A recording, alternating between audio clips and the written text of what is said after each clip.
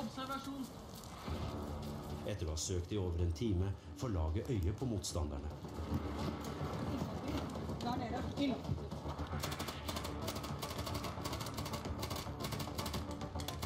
Som raskt trekker seg inn igjen i skogen. Ingen observasjon lenger. Johansen og laget tar derfor opp jakten på fienden. Jeg har alltid vært interessert i å prøve forskjellige ting. Vært litt sånn der ute etter adrenalinkick og sånt, så jeg vet med mange idretter som har litt eh, risiko, litt fart og spenning i seg. Jeg liker f.eks. å stå mye på ski. da. Det syns jeg er dødsgøy. Men det er ikke noe jeg kunne tenkt på å drive med profesjonelt. Det er litt det samme med Forsvaret. Men laget mister sporet og er tilbake på null.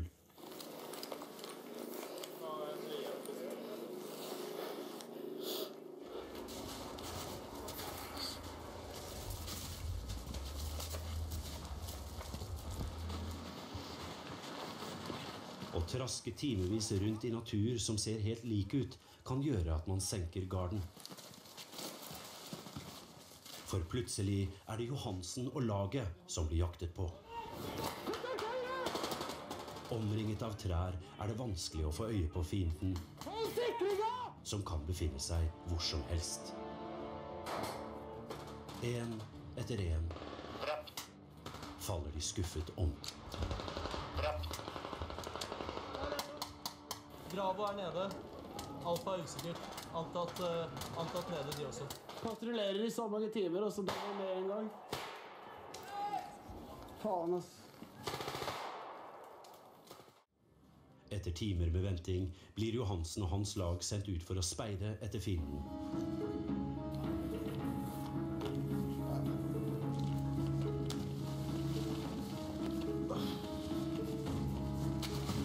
Som viser seg å være mye nærmere enn de tror. Kontakt høyre flanke!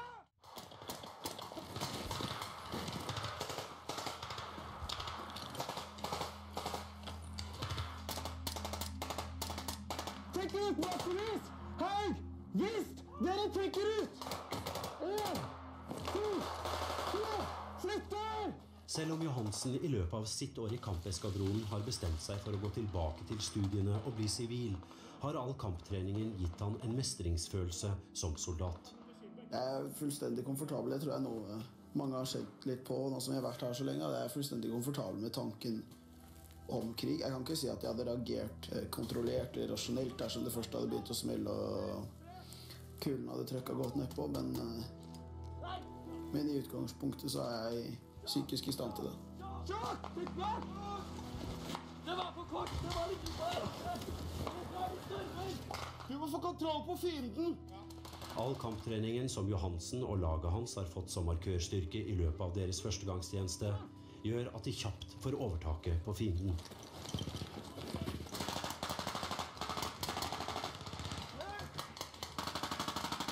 De gjør det faktisk så bra at de til slutt blir stoppet.